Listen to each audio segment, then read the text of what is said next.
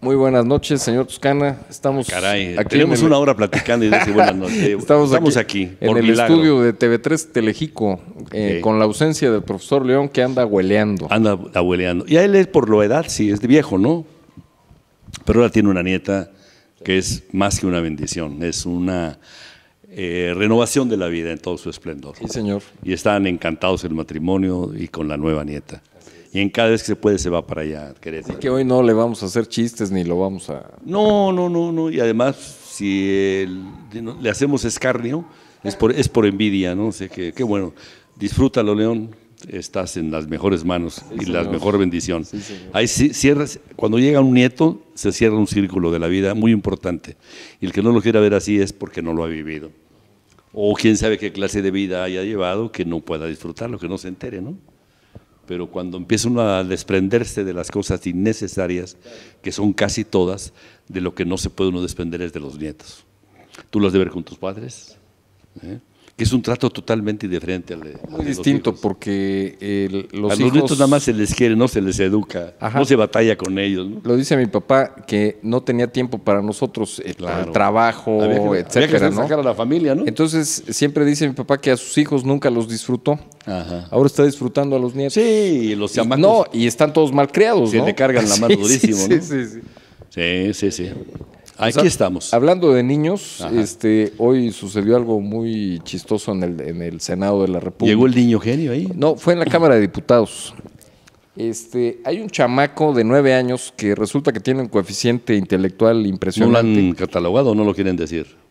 Eh, no sé, eh, la cosa es que el chamaco empezó a pasar cursos eh, porque se dieron cuenta de sus capacidades y de repente quiso hacer un diplomado en nanotecnología eh, biomédica Como o, si lo hubiera visto en la o televisión. ¿no? biológica en la UNAM. Ah, caray. Terminó el diplomado al mismo tiempo que el resto de la clase con honores. ¿A esa edad? Ajá, nueve años. Nueve años. Eh, se dice fácil, pero está en A chino. los ¿eh? yo no Bueno. sabía ni leer ni escribir, man. Pues el y chamaco, todavía, ¿eh? el chamaco Pero- se hizo famoso por tomar el diplomado de nanotecnología. que no se ve mucho en México no. eso, ¿no? Este, en fin, él puede estudiar la carrera que le pegue la gana en este momento. Porque además tiene toda la vida por delante, ¿no? Pues sí. Este, y lo invitan a la Cámara de Diputados. Para darse aire ellos, ¿no? Y un diputado se le ocurre preguntarle al chamaco que qué quiere ser de grande. Y el chamaco contesta muy inteligentemente. Se veo que sí tenía. No contestó qué quería ser, contestó qué no quería ser. Entre esas cosas, Y diputado. no, dijo, no quiero ser como ustedes. Ay, agarró parejo. Y luego explicó, no quiero ser diputado. Precisó. Bolas, don Cuco. Bueno, pues los diputados Ya lo saben, ¿no? Le aplaudieron. No, muertos de risa, claro. Sí, les dijo, este güey sí es de los nuestros. Como sí. cuando fue Denise Dresser a, dar a su la- discurso al Senado, ¿no? Y se los acabó. Se los acabó y ellos se levantaron a aplaudirle, ¿no? El, el colmo del cinismo, ¿no? Total, sí. Bueno, pues así fue hoy en la Cámara de Diputados. Y el chamaco sí tiene antecedentes muy importantes, ¿no?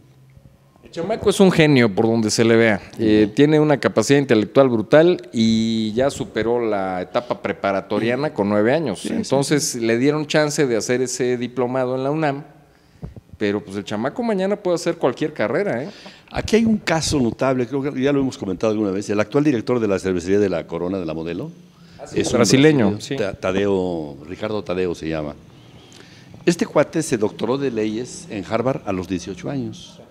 En Brasil pasó la primaria en un, en un mes, la secundaria en 15 días y la preparatoria no la necesitó.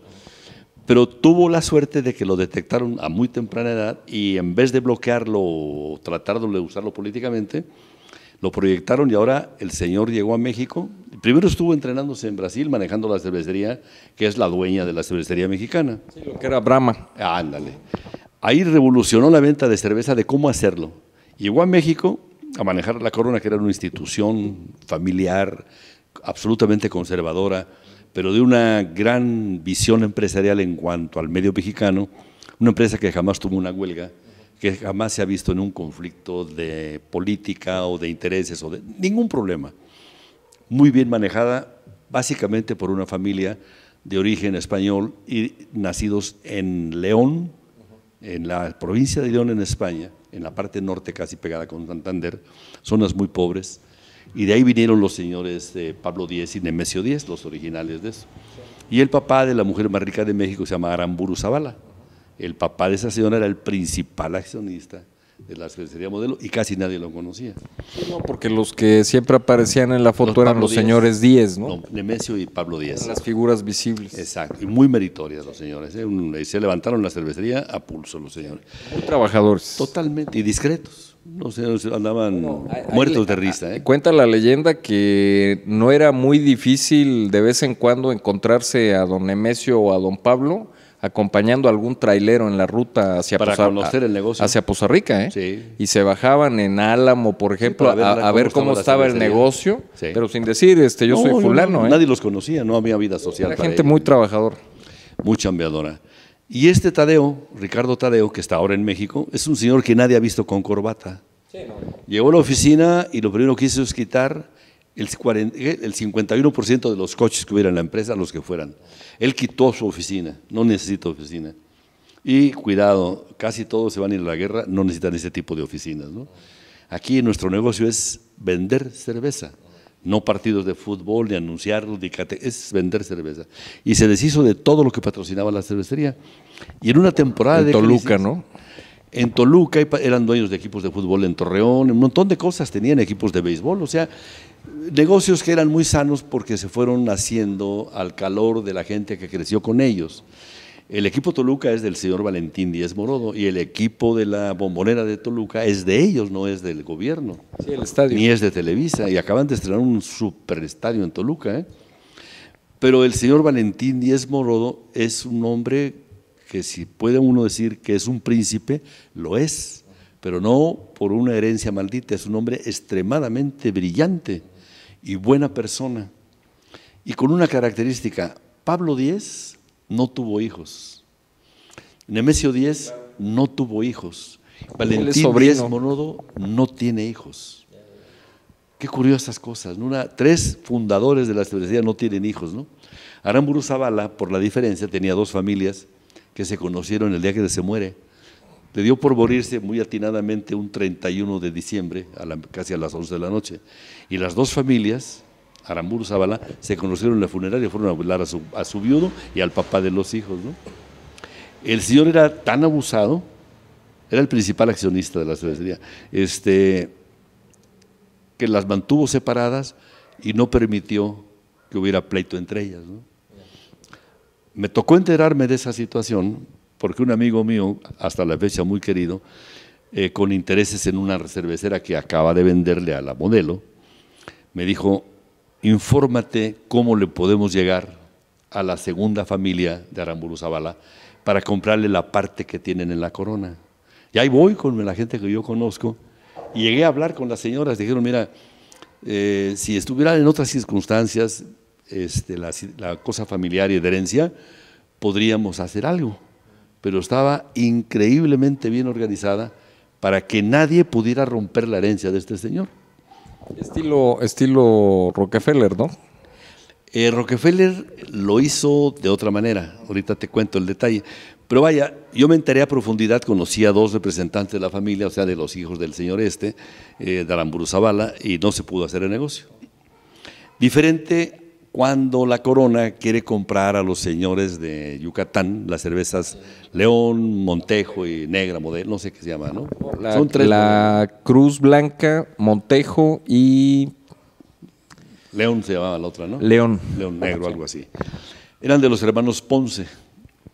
Entonces, eh, fueron los, en buena onda los señores a comprarle a los señores, al mayor, y los mandó por un tubo, el que tenía la mayoría de la cervecería. Pero estos detectan que el otro hermano, que tenía tantas acciones como el primero y que no manejaba la cervecería, no estaba contento con lo que pasaba y les vendió su parte, man. Entonces, Alcanzaron una- mayoría y lo sacaron. no, los corrieron, acabaron comprando la cervecería. Eh, fue un golpe. Y luego compraron este, la cerveza Pacífico en, el, en Sinaloa. Sinaloa. Y fueron comprando todas las cervezas. Y ahora compraron la de mi amigo, la cervecería Mexicali, la cervecería mexicana. Y este señor es tan audaz, tan brillante, que hoy la cervecería Modelo controla todas las cervecerías art- artesanales. Les dijo, ¿para qué batallan su problema de distribución? La voy a distribuir yo. Entonces, Vender cerveza artesanal, yo se las distribuyo. yo se las distribuyo. Entonces tú hablas ahorita a la corona no sé si ya el efecto llega aquí a Villa Juárez, y pides, mire, mándeme un surtido de cervezas, tres coronas, cinco modelos, diez mexicalis, tral, te pueden vender cincuenta y tantas cervezas diferentes. Y te las llevan a tu casa. Hace 30 años. Qué locura, man. Hace, Es creación de este hace hombre, ¿eh? 30 años eh, que estaba yo en Monterrey, la cervecería Cuauhtémoc tenía 22 marcas 22 más. y las probamos todas. Para saber qué pasaba, sí, ¿no? porque inauguraron un- una cervecería con restaurante que se llamaba Gambrinos en la colonia del Valle. Sí, sí, de lo más elegante. Y la idea general era probarlas todas. A ver qué pasaba, ¿o qué? Nos echamos 22 cervezas, no, le pregun- no me pregunte cómo salimos de ahí. No, a ver cómo este, entraron, no salieron a nadie le interesa. si no Este, salías acostado es que no fuiste a la podía fiesta, usted ¿no? probar toda la gama de la cervecería Cuauhtémoc. Ajá. Y Moctezuma. Claro. No, miento. Era Cuauhtémoc. Todavía era. Cuauhtémoc, la otra la vendió Bayeres. Sí, Era después. de Orizaba. Después. Después eso. Bueno, la, cervecería de Monterrey la compró la Henneken y la maneja una, niet- una nieta del fundador de Henneken, que vive en Suiza la señora, más brillante que el abuelo. La está revolucionando. Que ya es decir, ¿eh? Porque el abuelo fue brill- brillantísimo. sí. Pues esta señora le da 20 de las malas, una mujer, más listo que, que el papá, que el, que el abuelo. Y compró esta cervecería y anda por el mundo. No ha venido a México, está anunciada, en cualquier momento viene a México la mujer. Pues es la competencia fuerte que tiene la modelo realmente. Sí. La cervecería de la que compró la Am, Am Bauser Ambush. y otras más, le van ayudando todo. Es monstruoso lo que tienen, ¿eh? Monstruoso lo que de tienen. las más grandes del mundo. Tal vez la más grande. la más grande. La más grande ya, porque han ido comprando agresivamente. Ahora ya es una empresa belga, ¿no? Es de Bélgica, De Bélgica. la base, brasileña, con capital Y, mexicano. y lo de Estados Unidos, ¿no? Eh, Anheuser Ambush. no, no, originalmente no tiene nada que ver Estados Unidos. No, No, la, la cerveza Budweiser era la, la- la cara bonita de no Anheuser. esta es europea totalmente. Pero no es la Budweiser, no es la de ellos. No sé de quién sea la Budweiser, pero estos señores vienen de, de Bélgica y de Brasil hacia acá, comprando todo. Han comprado, no sé de quién sea la Budweiser actualmente, ¿eh? Este, eh, eh, bueno, ver, era de, de. Anheuser en Estados Unidos. a un Hester. Y es solo emporios monstruosos, ¿no? Pero este señor, la brillantez del tipo, era un niño genio también. Teo, a 18 años, abogado de, de Harvard, nada más, ¿no? Es muy complicado. Ser este- Debe ser un, ni- un joven muy brillante o debió haber sido. Es- este es muy brillante. Tiene que ser un intelecto brutal para poder recibirse de abogado en Harvard de 18 años. Ajá. Primero que te reciban. Le, le ronca, ¿no? Porque cualquiera dice yo soy genio, bueno, ahora demuéstramelo. Entonces te llegó con las credenciales. Ya en Brasil no había nada que hacer con él. Entonces dijeron, viene para acá. Y ahí se estuvo tres años el tipo, ¿eh? Eh, deben de ser. Bueno, si No, la, salió de la hizo en 18 tres años. años. válgame. O sea, aparte adelantó. 18 Pues sí, es que te digo, la primaria se la aventó, pues, el día que entró ya se la sabía, ¿no? Creo que este niño genio aprendió a, a leer a los dos años solo. Y de ahí para el real, ¿no? Y en la escuela no lo aguantaban porque contestaba con. Las preguntas las contestaba con otras preguntas, ¿no? Poniendo en ridículo. Tal vez no tenía la capacidad del ridículo, sino yendo más lejos de la pregunta, ¿no? Sí, ponía a patinar a los maestros. A todo, y eso le da un coraje a los maestros para otro. Bueno, entonces esos son los niños genios. A mí me gustaría Lo que pasa es que la Cámara de Diputados hoy quedó como la comidilla nacional. O sea, es noticia mundial. lo que le fue a decir este hombre. Sí, porque el, el diputado con, con muy Mucha buen sorna. interés. No, no, no. Lo que le pregunta a todos los niños. Le dijo, ¿qué quieres ser de grande? Pues bombero, mi abuelo. Dice, no quiero ser Como como, ustedes". Y luego explicó, No quiero ser. no quiero ser diputado. No preciso. Bolas, o sea. Dice, mucho gusto, el señor se está retirando, ¿no? No, pero aparte los diputados le aplaudieron. O sea, pues ¿qué les quedaba? Sí, me decir, oye, que ahora sí es genio, este güey sí sabe de qué estamos hechos, ¿no?